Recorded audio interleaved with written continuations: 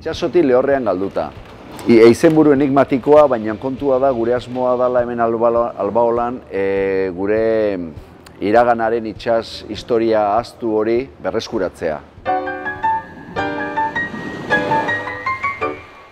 Ni Xabira gote naiz, berroita maika urte ditut, donostian jaiua, eta ni bon, ontzigia naiz, ni bere garaian erabakinun e, nire zaletasun hau lanbide bihurtzea, eta handikan urte batzutara ba, albaola elkartea sortu genuen.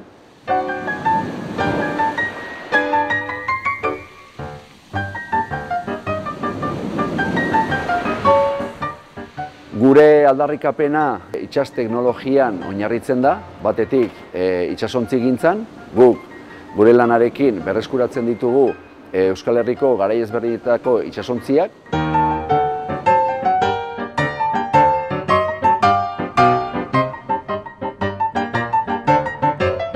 Eta gero bestetik ere e, itxasoan nabigatzen dugu.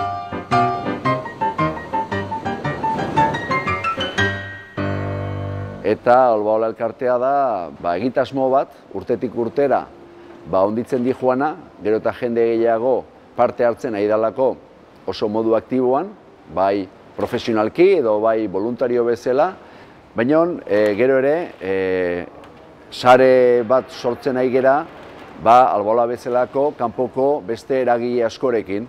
Oso proiektu interesgarria da, ze azken finean gu oinarritzen gera gure arbasoen historia horretan, eta gure arbasoak etengabean harremanak e, e, lantzen zituzten ba, mundu osoko herri eta jendearekin.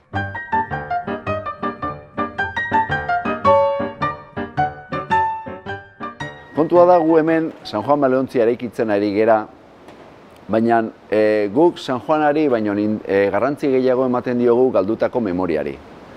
Eta guretzat, e, gure proiektu hau da, modu bat, gizarteari ezagutzera emateko Euskaldunak itsasoan izan zuten garrantzia handi bat. Batez ere amasi mendearen inguruan. Euskaldunak izan zialako bakarrak, baleak izatzen, kontuan izanik batetik goi mailako teknologia behartzuten garai horretan, eta hori da hemengo jendea garatu zuena, eta gero bestetik ere jarduera e, guztiz e, arriskutsua zen. Baina aldi berean ere etekina handia ematen zuena. Baina, hemengo jendeak grina auki zuen, ba, jun beharreko leku guztitara juteko. Jun behartzala artikora, artikora juten zian, ternuara edo Islandiara edo nor Noruegara. Eh? Horrek, adirazten du, garai horretan Euskaldunak e, itxas e, eremu hori menperatzen zutela. Beraz, horrek isladatzen du Euskaldunak zer nolako trebezia izan zuten iragan horretan, ez? Gure asmoa da, da proiektu honen bidez, hori dena ezagutzera matea.